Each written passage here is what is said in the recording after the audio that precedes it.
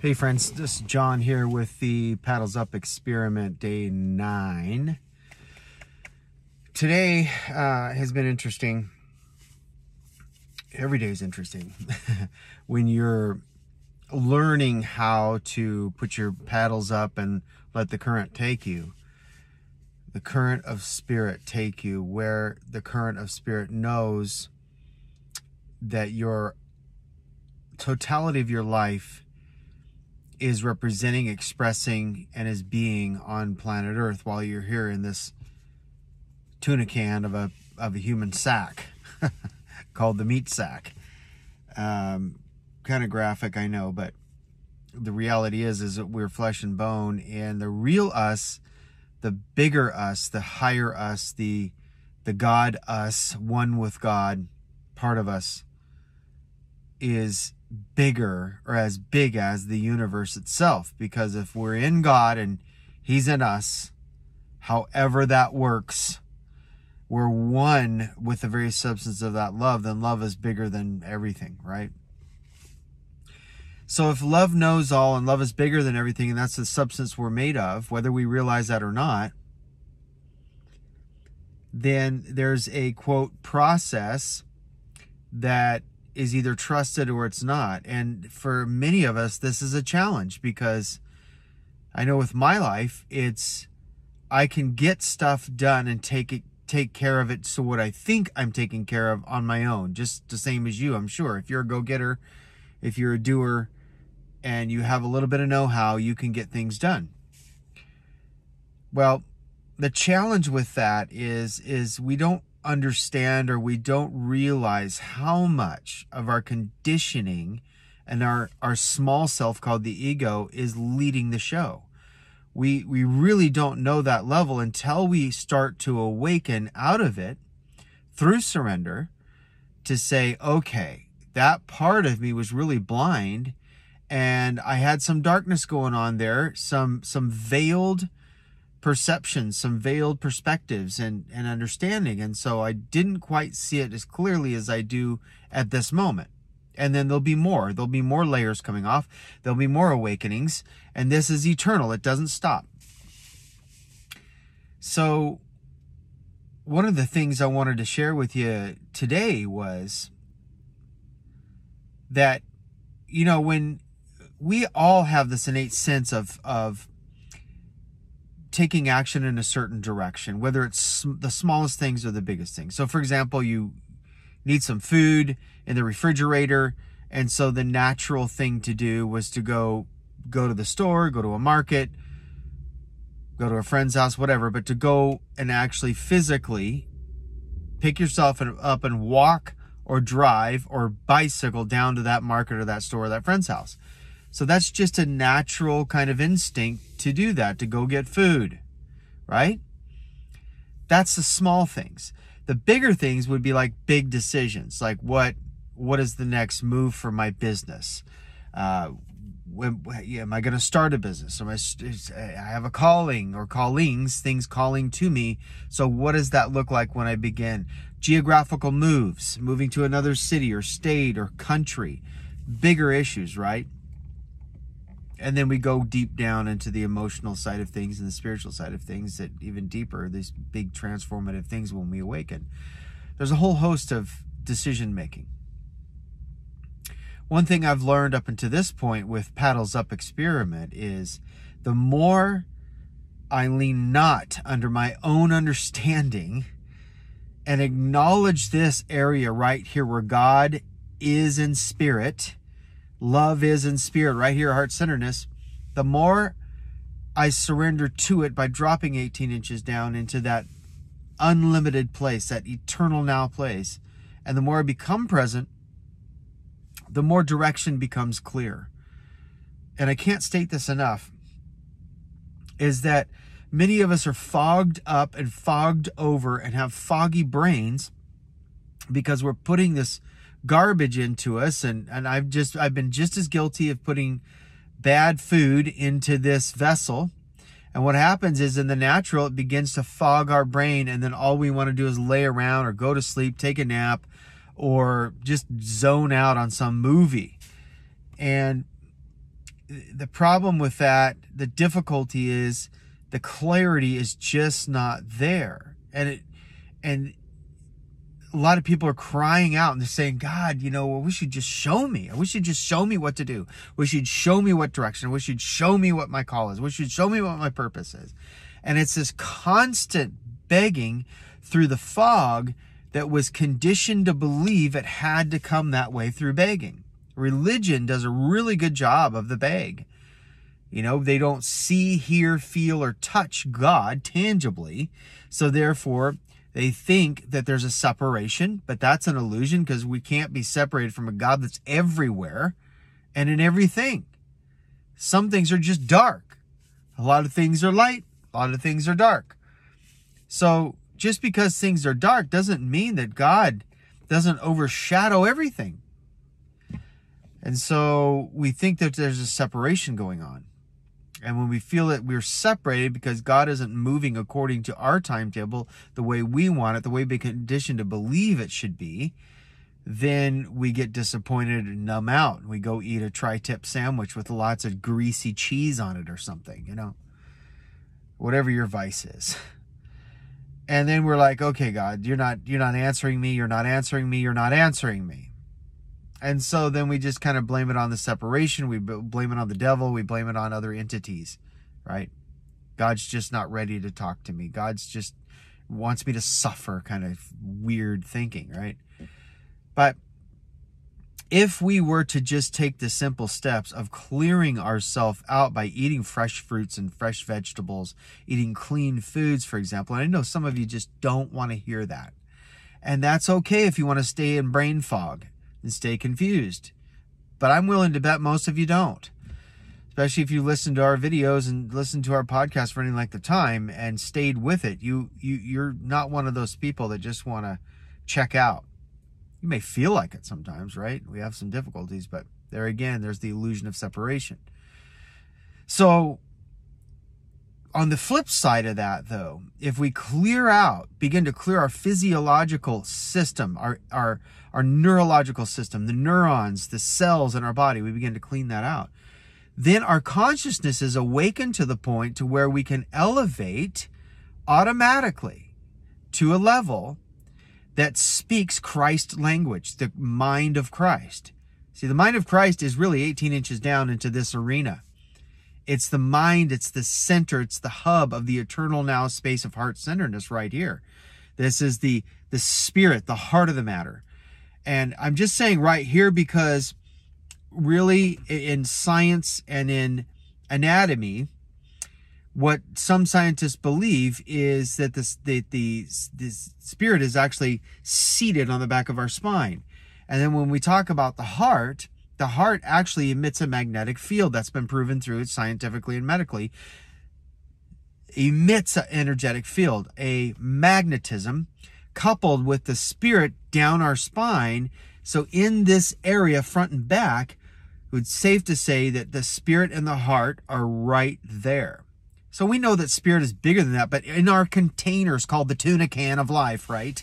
It's just an analogy guys. Don't get upset over tuna can issue uh, the the human body that we're stuffed into is very very limited in relatively speaking in human terms right? We we live in a 3d world. However that's not the real world. It's more of an illusion than it is real.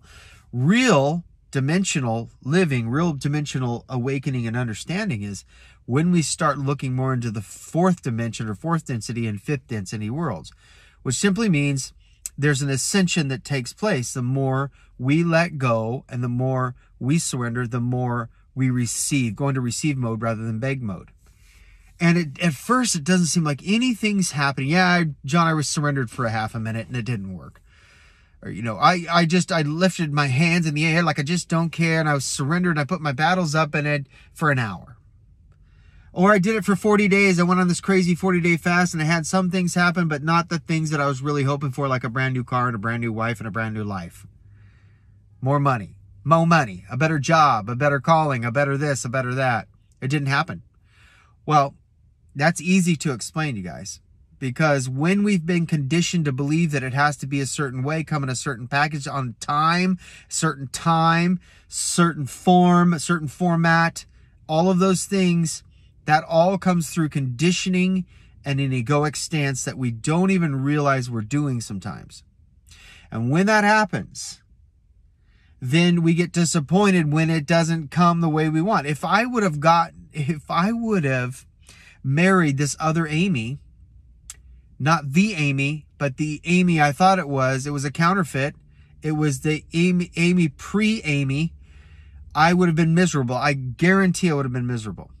It just would not be a fit. I've checked in one time, I think, over the last 22 years to find out what this individual is doing, just only because they were related to somebody that was on my social media feed. And I happened to click over there and boom, there they were. And I just knew. I just knew. It was it was appearance, it was uh, spiritual, it was soul. Everything was shown to me in a split second, and I just knew, oh, I would have been miserable. So that all happened on a higher dimension than 3D. And it and it came in an unconventional way, unconventional timing, in a time in my life when I didn't feel I was prepared at all. I wasn't spiritually awake at the time like I thought I was, and the list goes on. Why is that? Because when there is a suddenly, when there is a synchronistic synchronistic moment that happens, a divine appointment, if you want to call it that, it has little to do with our conditioning, it has more to do with God showing us how sovereign and how amazing that realm is in the 5D existence of unconditional love. Because remember, if it's unconditional, love just wants to do stuff for us and in us without condition. Just think of it this way, guys. When you have a good daddy on planet Earth, is your good daddy waiting for you, the crescendo of you just speaking right, getting it right, praying it right, doing it right, to want to just bless you out of the blue in a surprise moment? I think not. We're talking about a good daddy now, okay? So these are things to kind of entice us into the conscious level of Christ mindedness, the mind of Christ. Eh, eh, because we can't obtain that through the egoic world. We can't attain that through all of our learning and our education, all of our doing, all of our action taking. We can't do it just by knowledge alone because remember, love surpasses knowledge. And that's for good reason, so that we can be led by this rather than this. So, oftentimes we don't get what we've pre planned, we don't get what we've asked for, we don't get what we think we should want in our lives or need. Oftentimes it's much better than that, but it may not be perceived as such right out of the gate. So here's a good one for my my example is you know god's going to present opportunities to us that don't look very lucrative sometimes or they don't they don't match our monetary uh, vision or they don't match what our mate may we may think we want on the cover of that magazine right we're like oh this is they got to be they got to look this way they're going to be they got to have this shape, this height, this kind of thing in their bank account or whatever. And then God gives us something that sometimes is complete opposite. And then you're like, okay, you start figuring it out, right? You start going into your intellect and going, okay, how does this going to work out to get me to where I really saw the vision going by someone speaking over me or where I saw it to be true inside of me? How does that, how does that going to get me there? That's the wrong question to ask, my friends. Thing we should be asking is just, okay, how much is my ego in the way? How much of me, the conditioned me, the small me, how much of that is in the way of me seeing with foresight beyond that next step? And even more importantly, how much of that conditioning is keeping me out of the eternal now to where it doesn't matter what lies ahead because it's all taken care of. Remember, we're only promised now, right now. We are eternal now, so it goes on and on forever, but in this human bag right here, this bone bag, how much of it is promised? Well, remember, it says here today, gone tomorrow. Life is like a vapor. Here today, gone tomorrow. We only have the moment. We only have the present. In you know, speaking in human terms. So I think it's really interesting that what's upon Amy and I right now is this this opportunity in front of us that is half the pay. It's in barren wasteland to some, to some may think it's that way in a part of the United States. And we're like, okay, this is out off the beaten path in the middle of nowhere. How, there we go. See, how does this relate to what I'm feeling inside? That is not the question. So I, am finding myself constantly backing up and throwing my paddles up and to say, okay, if the current is flowing that way by these other doors closing, not from my own fruition, not my own will, but because God is sovereign and he's stepping in and he's closing those things because he knows that you're in the flow. See, when you're in the current and you're not paddling to get out of that current, but you're staying right down the middle of that current in the river, so to speak, then it's God's job, if you will, to guide that raft, to guide you, to guide your head, to guide the dead man's float when you're floating down that current in that river. It's his job to guide you around the danger. It's his job to guide you around the pitfalls.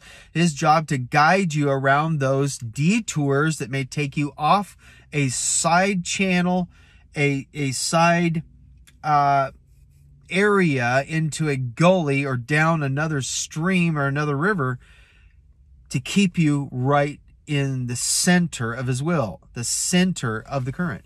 And so when that happens, it's very interesting because then you start seeing it from a different perspective and you're like, okay, Okay, it doesn't matter if it's half three quarters less than the. It doesn't matter who's standing down. It doesn't matter where it's at. It doesn't matter if I like it or not. No preference, no preference, no preference.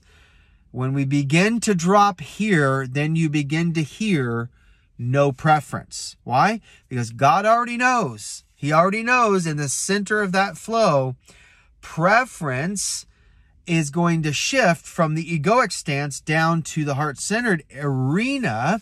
And then you start seeing the bigger picture, and then you don't pigeonhole yourself into these little preferences. Like, I like it. I like to live somewhere hot, like to live somewhere cold. I like to have this much amount in my bank account. I would like my debt paid off by X amount of time. I would like this person to walk into my life or walk out of my life by next month, by next year.